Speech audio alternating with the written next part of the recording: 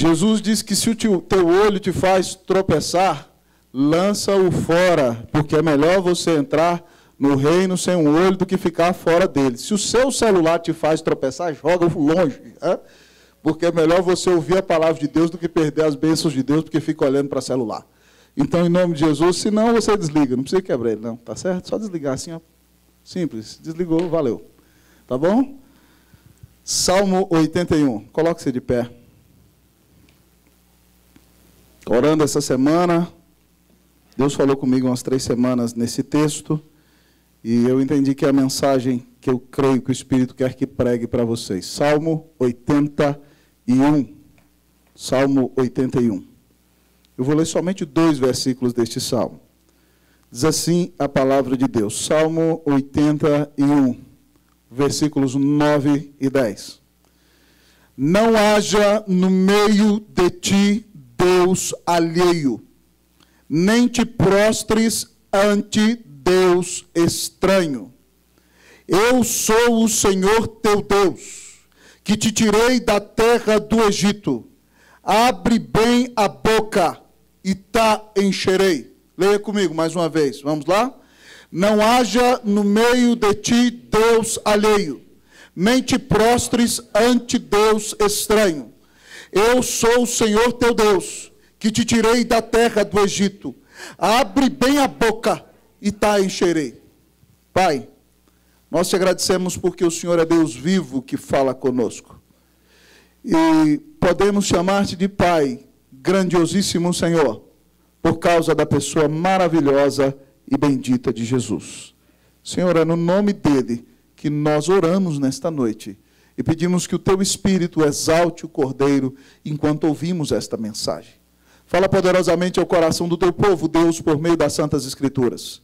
Tu sabes na tua soberania, Senhor, porque determinaste que hoje eu deveria trazer essa mensagem ao coração do teu povo. Eu não sei quem aqui enfrenta aflição, lutas, ó Deus, quem precisa ver o Senhor como seu grande conquistador, como o seu Deus que está ali para se relacionar a cada dia, o seu provedor. Então, Senhor, venha agora ao encontro da tua noiva. Ó Senhor, e que tu que disseste que caminha no meio dos sete candeeiros de ouro, Caminhe no meio desta igreja nesta noite, Senhor. Caminhe no meio desta igreja e mostre para o teu povo, mostre para o teu povo o quanto o Senhor o ama. Como o Senhor quer que esse povo viva na tua presença. Como eles custaram um preço tão caro que é o sangue de Cristo. E como nós, como igreja, devemos confiar em Ti para termos real e verdadeira felicidade. Fala no nosso coração, Senhor. Fala poderosamente, aquece o nosso coração e anima-nos para que caminhemos em fidelidade para contigo a cada dia. Nós oramos em nome de Jesus, para a glória de Jesus. Amém. Assentai-vos, queridos irmãos e irmãs.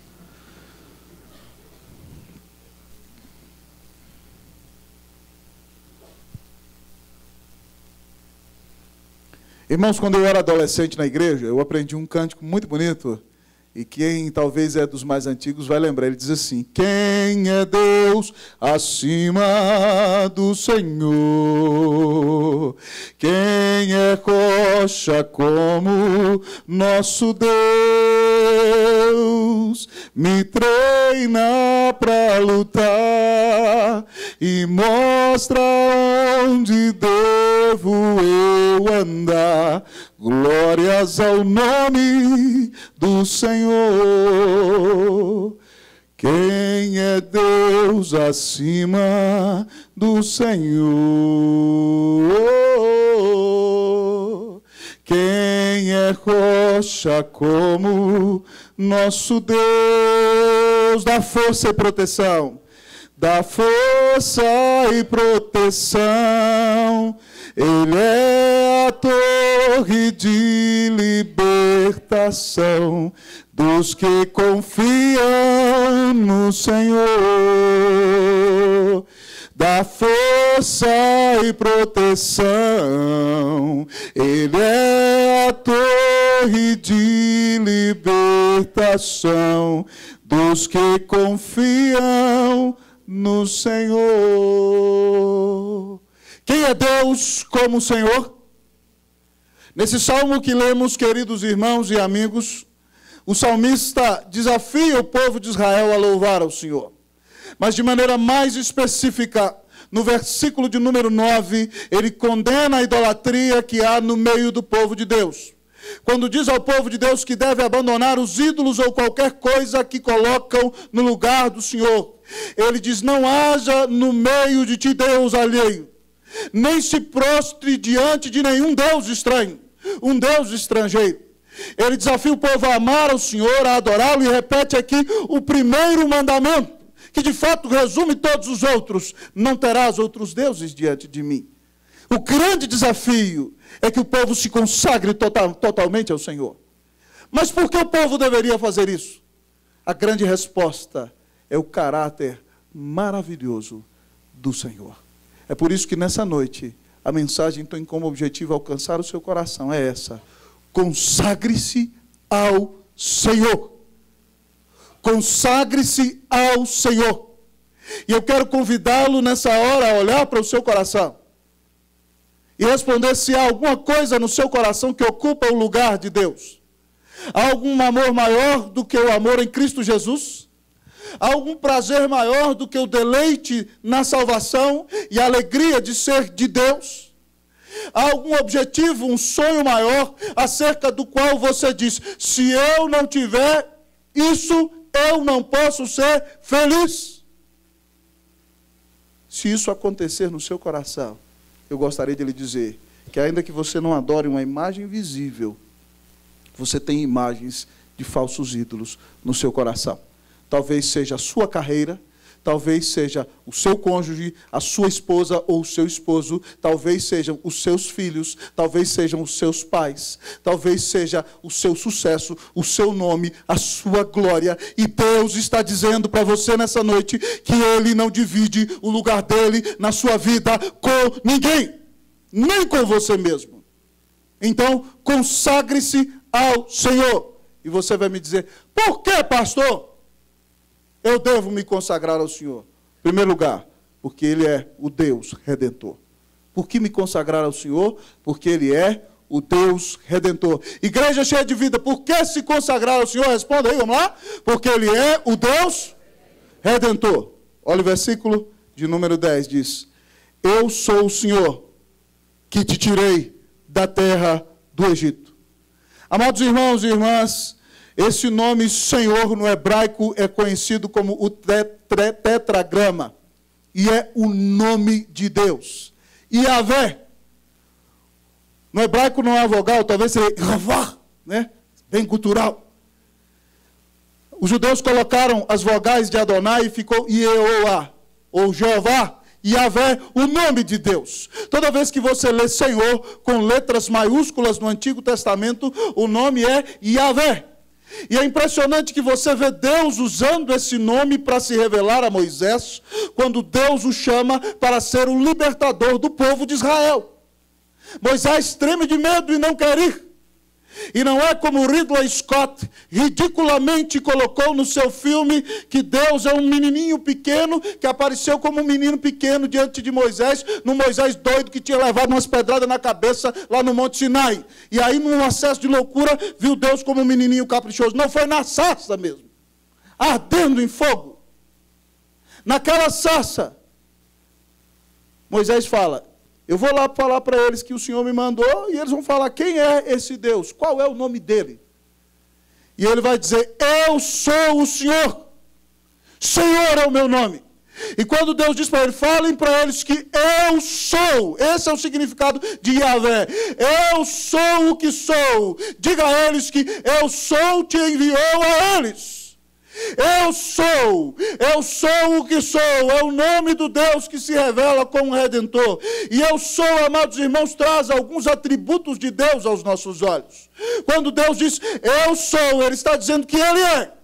Ele se basta, ele não depende de ninguém, ele não precisa de ninguém, ele não foi feito por ninguém, ele sempre existiu. Quando Deus diz eu sou, ele está dizendo que de fato ele é, ele é o que é. Isso significa que Deus é autoexistente, Deus é independente, ninguém o criou. Ele não depende de criatura alguma, só Ele é. E se basta, e sempre foi assim. Mas um outro atributo claro de Deus, que você pode perceber quando Deus usa esse nome no texto, é que Ele é o Deus eterno. O Mateus morre de vontade de ter vida eterna, não é, Mateus? Mas a vida eterna do Mateus, irmãos, na verdade vai ser existência continuada. Porque um dia o Mateus, certo, nasceu. Dentro desses 24 anos aí, ele foi o primogênito do expedito da Jane. Então, o que, que aconteceu? Deus gerou Mateus no ventre da mãe dele, então ele teve começo. E ele creu em Jesus e vai ter vida eterna, existência continuada. Mas no caso de Deus, vida eterna não é existência continuada. Deus sempre existiu. E essa categoria, para mim e para você, é um tanto quanto complexa, sabe por quê? Porque nós somos temporais. Nós fomos criados, nós vivemos dentro de um limite de tempo, mas Deus sempre existiu, ninguém fez Deus. Deus ontem é, Deus hoje é, amanhã Deus é. Então o nome de Deus ontem é eu sou, e o nome de Deus hoje é eu sou, e o nome de Deus amanhã é eu sou. Não é eu era, eu fui, eu sou e eu serei. Não, sempre Deus é. Deus é eterno. Isso vai além do meu entendimento e do seu, porque nós somos temporais e limitados. Deus é ilimitado, infinito no que diz respeito ao tempo. Mas um outro atributo de Deus que esse nome traz para nós, além de autoexistência e além de eternidade, é imutabilidade. Deus no seu ser jamais muda, amados irmãos. Ontem Deus é, hoje Deus é, amanhã Deus é. É por isso que o autor aos Hebreus diz: Jesus Cristo é o mesmo ontem, hoje e sempre. Idôneo, imutável. Deus não é como você que muda. Deus não engorda. Deus não fica careca. Aleluia! Deus não tem barriguinha. Deus é o mesmo ontem, hoje e sempre. Ele é confiável. O Deus imutável é o Deus confiável. Sérgio, abre essa porta para mim aí, que tem uns irmãos se abanando, está quente. Você pode abrir para mim, por favor, Sérgio? Faz favor. O Deus imutável. Essa porta aqui, só abrir para mim. O Deus, olha aqui para mim, aqui, ó. Deus imutável. Esse é o nome do Deus Salvador, irmãos. O Deus Salvador não é qualquer Deus. Ele é o Deus autoexistente, ele é o Deus eterno, ele é o Deus imutável. E é com esse nome que Deus chega para Moisés e diz: Moisés, você vai tirar o meu povo do Egito, porque o meu povo é escravo. 430 anos antes, eles entraram 70 filhos de Jacó naquele lugar e se tornaram escravos dos egípcios, estão sendo oprimidos com grande angústia e dor. E eles clamam ao Senhor, e o seu clamor chega aos céus. E Deus levanta Moisés, e Deus liberta aquele povo através de dez grandes pragas ainda os faz passar com os pés enxutos no mar, no qual os egípcios são sepultados, e conduz o povo durante 40 anos no deserto e dá ao povo a sua terra. Esse Deus é o Deus que redimiu Israel. A palavra, amados irmãos, redentor significa libertador. Salvador. Redenção é o preço pago pela libertação de um escravo. Quando Deus se diz Yahvé, ele está se revelando como um Deus do pacto, o Deus da aliança, o Deus que salva o seu povo, que diz aqui: Eu tirei você da terra do Egito. E eu e você não estivemos lá no Egito, mas no sentido espiritual, amados irmãos, nós nascemos no Egito. Nós somos filhos do cativeiro. Nós nascemos como escravos do pecado. Mas a Bíblia nos diz num lindo quadro em Efésios capítulo 2 o seguinte: Ele vos deu vida, estando vós mortos nos vossos delitos e pecados. Nós éramos escravos, e o texto diz que essa escravidão fez de nós mortos, criminosos que têm delitos e transgressores.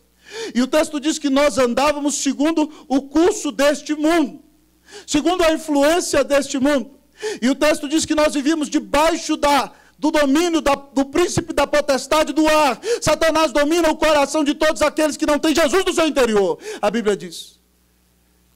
E nós, tais como os demais, éramos filhos da ira, andávamos debaixo da ira de Deus. e o que nos esperava era o castigo eterno.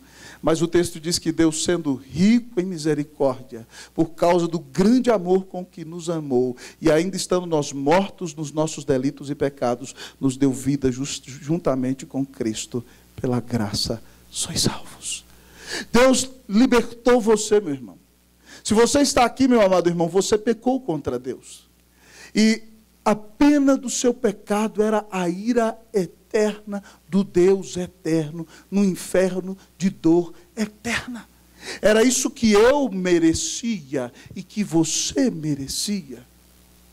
E não existia nada de bom que nós pudéssemos fazer para satisfazer esse Deus, porque a Bíblia diz que até as suas melhores obras, as tuas justiças não passavam de trapos de imundícia. Antigamente, amado, amada irmã, amado irmão, não havia modes nem absorvente. Trapos de imundícia era, eram os panos dos quais as mulheres usavam para se limpar da sua menstruação. Deus disse que a melhor obra que você pode fazer para Deus não passa de trapo de imundícia. Algo repugnante. É por isso que eu e você temos que aprender a nos arrepender, não somente das nossas más obras, mas também das nossas boas obras. Porque até as nossas melhores obras ofendem a Deus em sua santidade. Quando você faz algo muito bom naquele dia, você fala: Eu sou cara, hoje eu sou crente. Um aplauso para mim. É, você já ofendeu a Deus, porque você está buscando glória para si que não te pertence. Então, amados irmãos, nós merecíamos que a espada da ira de Deus caísse sobre nós. Mas Deus prova o seu próprio amor para conosco. Olhei para você, John, lembrei do versículo. o John disse que esse é o versículo dele. Mas Deus prova o seu próprio amor para conosco, pelo fato de haver Cristo morrido por nós, sendo nós ainda pecadores, amados irmãos. Ou o versículo mais conhecido das Escrituras que diz que Deus amou o mundo de tal maneira que deu o seu Filho de jeito, para que todo aquele que nele crê não pereça, mas tenha vida eterna. Se você crê que Jesus é o Filho de Deus, se você crê que Jesus é o Salvador, se você crê que Jesus é o caminho, a verdade e a vida, se você crê que Ele é o único mediador entre Deus e os homens, Deus no seu tribunal bate o martelo e diz: Eu te declaro justo e considera em você a justiça do seu filho. Isso nós chamamos de imputação. Deus olha para você como se ele olhasse para Jesus. E aquela frase que ele disse para Jesus é a, a, a frase que ele disse para Flávia: Tu és a minha filha amada, na qual eu tenho todo o meu prazer. Sabe por quê? Porque se você creu em Jesus, Deus te vê hoje como ele vê a Jesus. Então preste atenção, Esdras, Deus diz para você: Tu és o meu filho amado, filhinho do meu coração, no qual eu tenho todo o meu prazer. É assim que Deus olha para você, porque Ele deu Jesus na cruz para te salvar. Então, meu irmão, em nome de Jesus, como é que você vai ter coragem, tendo Deus dado um preço tão caro, de colocar qualquer coisa no lugar de Deus?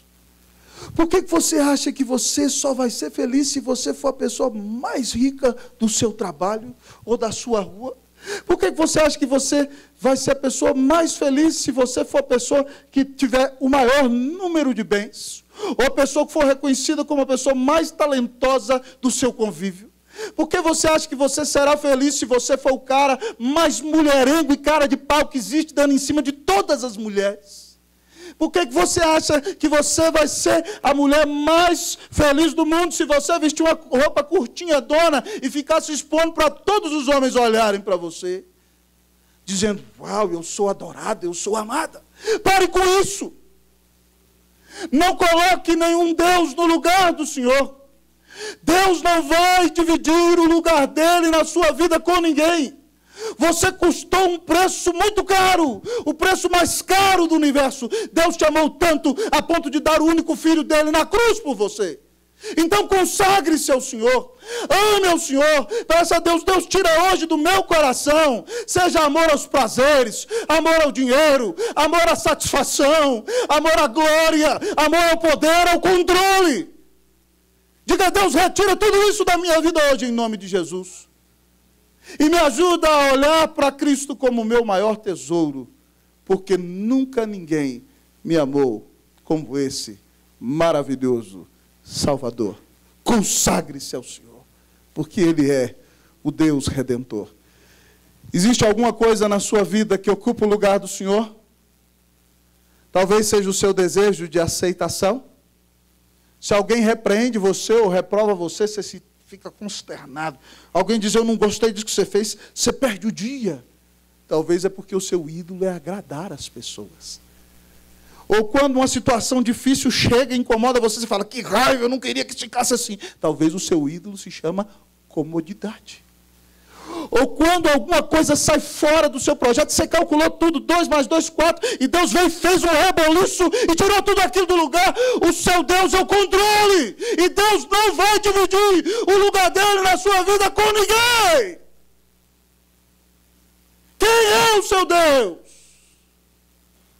Consagre-se ao Senhor, porque Ele é um redentor vitorioso e Ele não vai dividir o lugar dele na sua vida com ninguém. Por que consagrar-se ao Senhor? Porque Ele é o nosso redentor. Que Cristo seja de fato o seu libertador.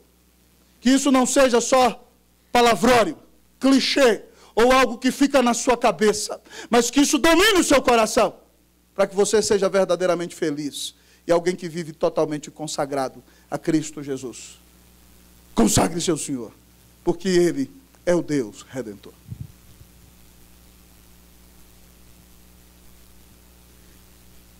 Mas a ordem do texto continua, Ivan. E por quê? Talvez você diga, por que, pastor Roster, eu devo me consagrar ao Senhor? Porque Ele é o Deus redentor mas porque Ele é o Deus pessoal. Por que consagrar-se ao Senhor? Vamos lá? Porque Ele é o Deus. Não ouvi porque Ele é o Deus. Versículo de número 10. Leia todo para mim, você aí. Vamos lá. Um, dois, três. Você pode ler enquanto eu tomo um gole d'água aqui. Vamos lá. Um, dois, três. Vai.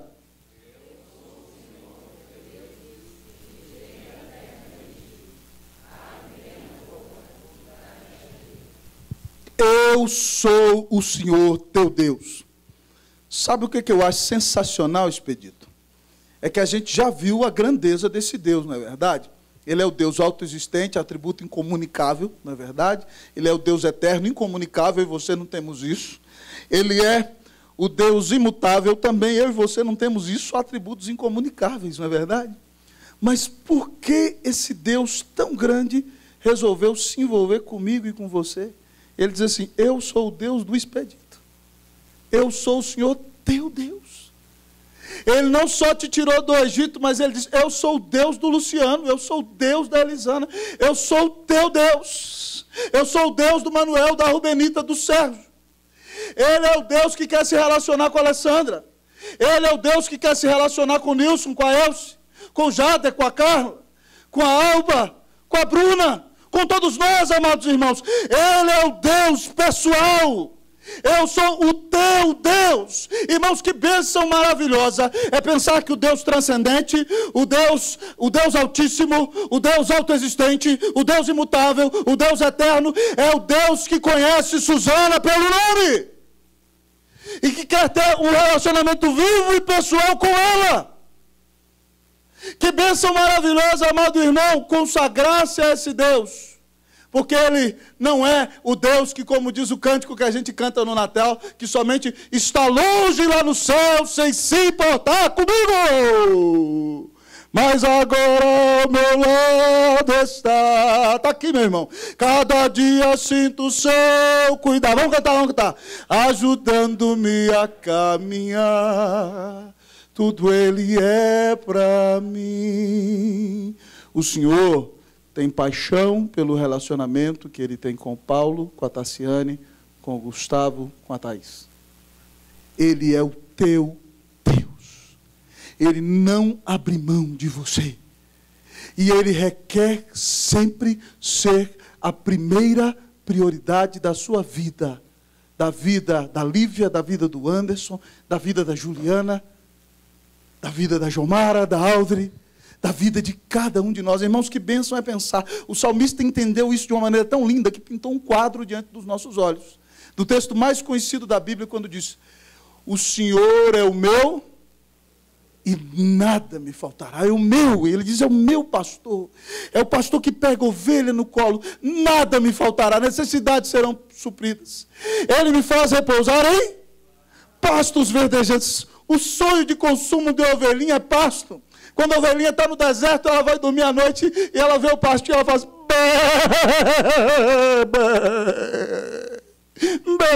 E ele te leva então para os pastos verdes e você come. Mas quando a ovelhinha está com a garganta seca, ela quer água, e o Senhor te leva para junto das águas de descanso. Ele te descedenta, mata a sua sede física e a sede da alma. E aí diz o texto que ele refrigera a minha alma. A palavra usada para refrigera significa na hebraico revitaliza, restaura, reaviva a minha alma e me guia pelas veredas da justiça por amor do seu nome. Que Deus pastor maravilhoso é esse? É o pastor presente que quer me dar descanso, que quer me dar alimento, que quer descedentar minha alma, que quer me guiar pelo caminho correto. É esse Deus que quer ter um relacionamento vivo e pessoal com você. É por isso, Alessandro, que o Salmo 25, 14 diz que a intimidade do Senhor é para os que o temem, aos quais ele dará a conhecer a sua aliança. Deus é um Deus pessoal, irmão, que quer ter um relacionamento vivo e pessoal com você. Você não pode viver como um deísta. Muitas vezes é isso que você tem feito. Você se diz um cristão, um reformado, evangélico, mas um deísta é aquele que Deus crê, crê que Deus criou o mundo como um relógio e deu corda nesse relógio e deixou esse relógio funcionando tic-tac, tic-tac, tic-tac, tic-tac e nunca mais você viu intervenção dele. E a grande característica de alguém que é deísta é que ele não ora. Ele não acredita que se pode ter contato com Deus. Ele não acredita que é um relacionamento vivo com Deus. Ele crê que Deus existe, mas que não intervém. E Deus existe e intervém. Ele não é só o Deus transcendente, mas Ele é o Deus imanente que emana e quer ter um relacionamento pessoal e vivo com você. Deus te ama e quer cada dia que você o conheça e o ame cada dia mais e mais. Irmãos, esse Deus é tão maravilhoso e pessoal que fala conosco na sua palavra. Eu vou te contar a história por meio da qual Deus me deu esse sermão.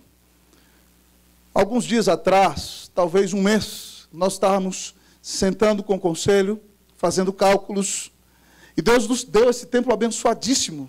E tem chegado tanta gente aqui. E aí, de repente, a gente ficou perplexo porque a gente tinha que pagar esse templo cinco anos. E nós já pagamos dois. Aleluia! Louvado seja o Senhor. Mas ainda faltam três. e quando a gente botava a caneta no papel, as coisas não davam.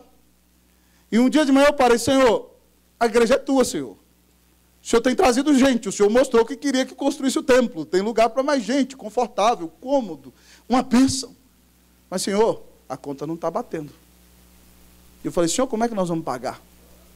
E aí, irmãos, eu com aquele negócio no coração, falei, Senhor, toma conta, dirige, a igreja é tua. Nós temos que pagar a conta, o Senhor é que é o dono do dinheiro. E eu sentei para ler minha Bíblia, irmãos. Na minha devocional, eu estou lendo nesse mês de dezembro, estudando com profundidade o livro dos Salmos. E de repente, eu parei no Salmo 81. E quando eu estava lendo aquele salmo, no meio daquele pensamento, daquela dificuldade, o Espírito Santo gritou no meu coração: Eu sou o Senhor teu Deus que te tirou da terra do Egito. Abre bem a tua boca e eu te encherei. Deus cuida da igreja. Deus cuida de mim. Deus cuida de você. Esse Deus redentor é um Deus pessoal que fala comigo e com você nas Escrituras. Então, meu irmão, por que nós não vamos orar?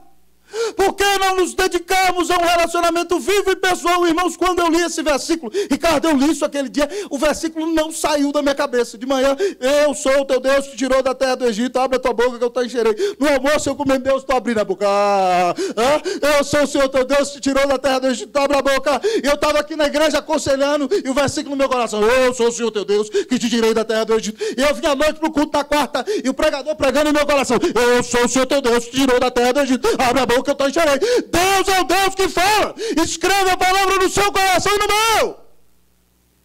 Então, meu irmão, busque ao Senhor. Ore ao Senhor. Clame ao Senhor. Deus é o Deus que está olhando para você. Ele deu Jesus para te salvar. Ele é o Deus que vai resolver a sua situação. Então pare de achar que você faz as coisas na força do seu braço. Talvez você está enfrentando uma grande crise. Porque o Senhor quer que você desperte entenda que você tem que amá-lo sobre todas as coisas, que você tem que priorizá-lo, que você tem que orar a Ele todos os dias, que a melhor coisa que você pode fazer é estudar a Sua palavra todos os dias, que não existe relacionamento mais doce, mais amável, mais pleno, mais edificante do que um relacionamento vivo com Deus eterno. Meu irmão, Senhor tem paixão pelo relacionamento que tem com você. Por que você não tem buscado? Por que você não tem se dedicado à oração? Por que você não tem priorizado a Jesus como o maior amor da sua vida? O que te falta? Nunca ninguém te amou como Ele. Hoje o Senhor está dizendo: Ei, eu te amo, quero estar com você. Vamos jantar comigo? Você pode sentar-se comigo todos os dias. Eis que estou à porta e bato. Se alguém ouvir a minha voz e abrir a porta, entrarei em sua casa e cearei com ele e ele comigo. É um convite para a igreja. O Senhor está batendo. Você vai deixar a porta fechada? O Senhor está dizendo: Ei, eu quero te dar a bênção de me conhecer mais. O que você vai fazer com esse convite maravilhoso? Atire-se nos braços do Senhor. Diga, Senhor, eu quero conhecer-te mais. Eu quero depender mais de ti. Eu quero amar-te mais. Eu quero ouvir o Senhor me ensinar toda vez que eu abrir a tua palavra. Eu quero ser cheio do Espírito Santo. Eu quero ser cheio da presença de Jesus. Eu quero ser cheio da graça do Senhor. A cada dia mais e mais. Deus é um Deus pessoal. Como você tem se relacionado com Ele?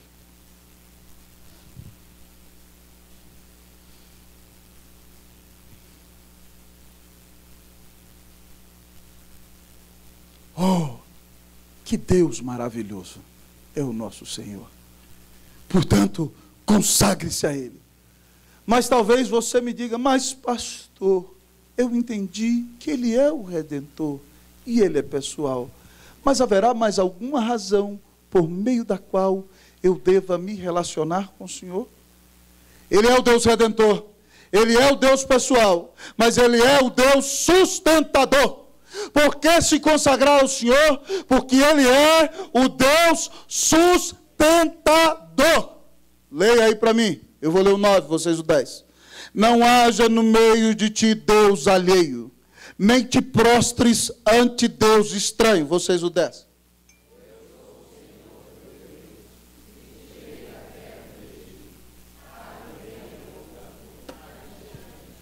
Abre bem a tua boca e eu te encherei. Irmãos, Deus é o maior artista, é o maior pintador de quadros e usa o que nós chamamos de figuras de linguagem no português e no espanhol de figuras literárias.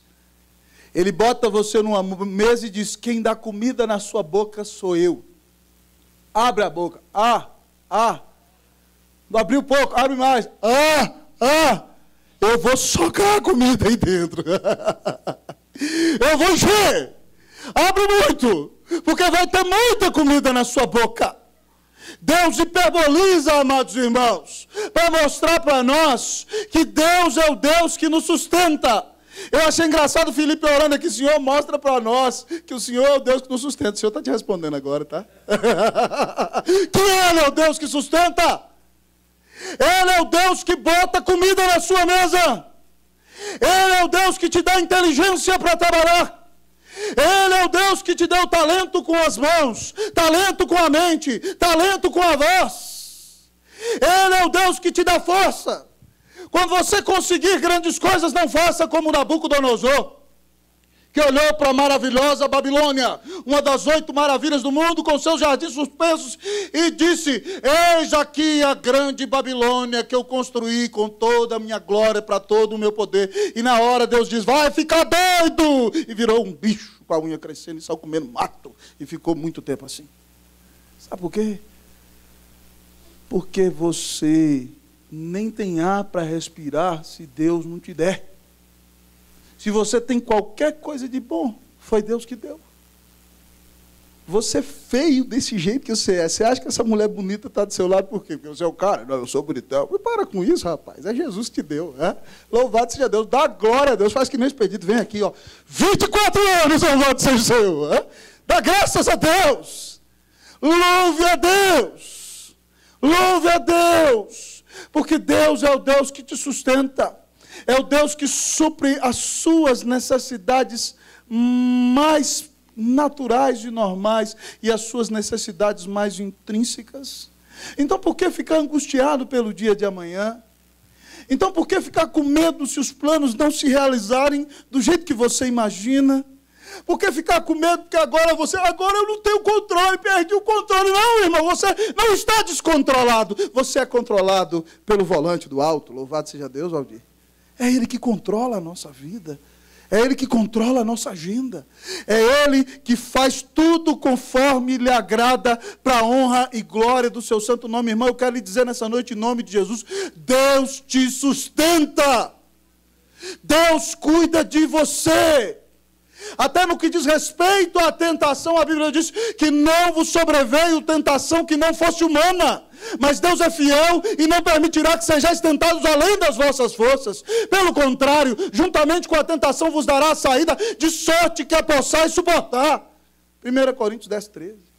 Até a tentação que você passa por ela está no controle de Deus e nunca é mais forte do que a sua capacidade. Veja como Deus é fiel e te sustenta. Irmãos, há um versículo na Bíblia que eu acho maravilhoso, Salmo 37, 25. Davi diz assim, meu presbítero expedito. Se você lembrar, vamos lá. Fui jovem, e agora sou, e nunca vi o justo, e a sua descendência. Você está aí, né, jovem, bonitão, sarado, fortão. É, é, é. Mas Davi diz, diz: Davi não é como Deus, eu sou, eu sou, eu sou. Davi diz: Eu fui. Passa. Um dia o cabelo cai. Um dia a barriga cresce. fui, é transitório transitoriedade. Fui jovem. A vida é passageira, amados irmãos. Nós não devemos colocar a nossa glória na nossa juventude. Sabe por quê? Porque a juventude passa. Fui jovem. E aí ele mostra a nossa fragilidade, como nós temos que depender de Deus. Ari, ele diz: agora eu sou velho. Quando a gente é velho, a gente, né? mais fraquinho, caminha com dificuldade. Meu vozinho com 87 anos, né, teve chagas, coração grande, pulmão ali, com pneumonia, rim parando, teve que correr para Santa Lúcia com os filhos. É a característica de quem é velho. Certo? Cada dia a gente vai se tornando mais dependente e vê a nossa fragilidade. Mas ele diz: olha, vou até pregar um dia nesse texto, eu estou até adiantando os pontos para você. Ó. Primeiro ponto, a vida é transitória. Fui jovem, né? Segundo ponto, um sermão dentro de outro. Ó, Deus está me dando, louvado seja Deus, vamos lá. Fui jovem, é? A vida é transitória. Segundo ponto, certo? Nós somos dependentes. Sou velho, certo? Mas terceiro ponto, Deus é fiel. Nunca vi o justo desamparado, nem a sua descendência a mendigar o pão. Deus cuida de você. Deus supre as suas necessidades mais intrínsecas. Deus é o Deus que te carrega no colo, minha querida irmã Fátima, junto com Eli. Já está aposentado, Eli?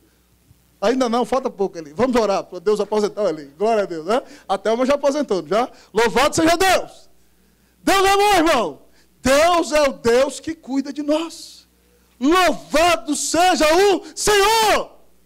Certa vez, irmãos, uma moça, uma, uma irmãzinha, muito crente, pobre, mas mulher que amava a Deus, morava do lado de um homem rico, um servo de Satanás, um macumbeiro, dono de centro. E aí ela ia para a igreja, certo? Com a biblinha debaixo do braço, surrada, e com os filhos ali um atrás do outro, e o macumbeiro olhava para ela, ha, ha, ha, ha, Maria, você diz que serve seu Deus aí, Maria. E você é uma pobre, uma miserável. Eu sirvo a capetaiada toda e estou aqui, ó, rico, na boa. Ei, Maria, larga esse Deus. E ela, eu nunca largo meu Jesus por nada, porque ele morreu na cruz por mim. Um dia o macumbeiro disse, vou pregar uma peça na Maria. A Maria estava passando aperto, já estava todo mundo na rua percebendo isso, ela não falava nada.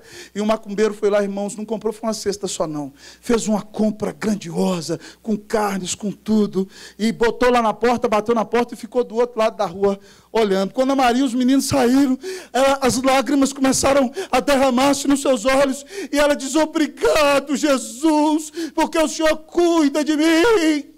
O macumbeiro gritou do outro lado: Que Jesus nada! Foi o diabo que deu isso aí para você! Fui eu que comprei e botei tudo aí! E ela parou um instante, pensou e falou assim: Obrigado, Jesus, porque quando o Senhor quer abençoar os teus servos, até o diabo é usado para nos abençoar. Jesus domina sobre tudo e Ele cuida de você. Não tenha medo de diabo. Lutero dizia que o diabo é o diabo de Deus. Diabo é o rex, certo? Na corrente de Deus. Quando Deus fala, pega rex, aí você sai correndo, porque Deus mandou.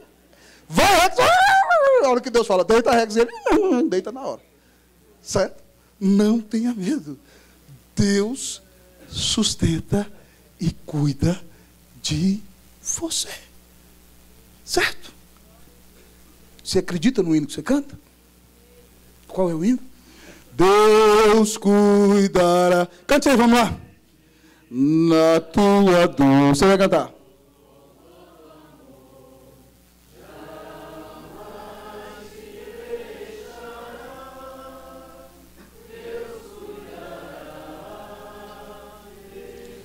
Deus cuida de você.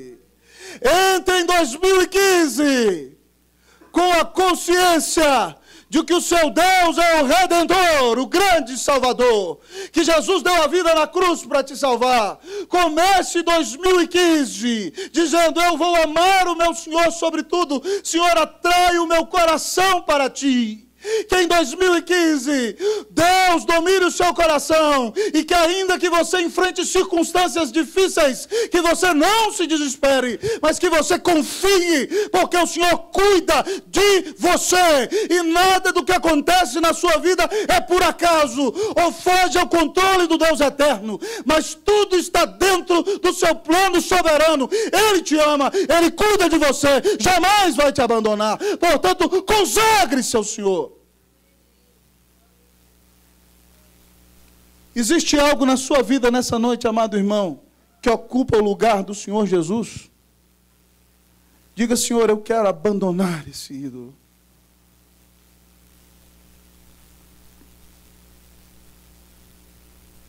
Confissão de pecado pessoal.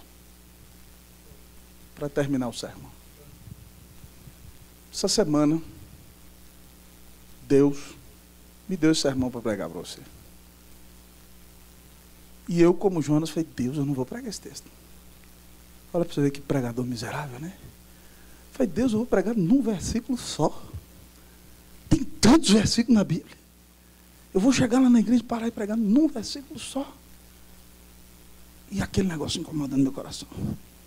Eu sou o Senhor teu Deus, que te tirou da terra do Egito. Abre a boca, eu vou encher. Mas eu, Senhor, um versículo só. Nossa igreja, Senhor, brigando com Deus, né? Nesses últimos anos eu tenho treinado a igreja a ouvir sermão expositivo, numa perícope maior.